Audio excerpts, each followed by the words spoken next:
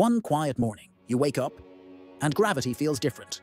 The wind is strangely still. Then the news breaks. The Earth has stopped spinning. At first, silence, then chaos.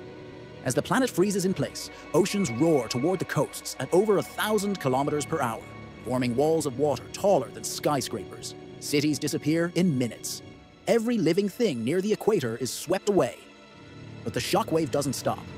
Without rotation, one side of Earth is locked in never-ending sunlight, heating to unbearable temperatures.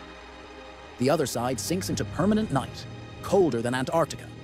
Humanity would be forced to migrate toward a thin twilight zone between scorching day and endless darkness just to survive.